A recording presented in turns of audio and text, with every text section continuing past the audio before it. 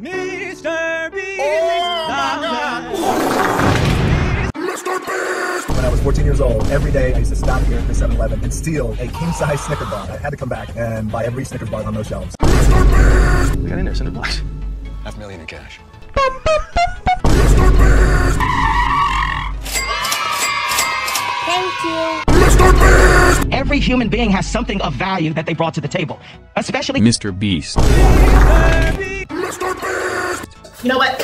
How about you pay on me an extra $2,000? Before social media, I was rich and anonymous. And after social media, I'm still rich, but no longer anonymous. Mr.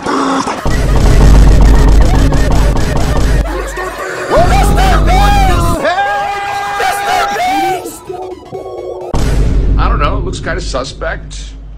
Could be. Comes to Black Adam, as I think we'll probably land somewhere around I don't know, maybe 375 million worldwide, maybe a little bit more. We might kiss 400 million dollars. We'll see.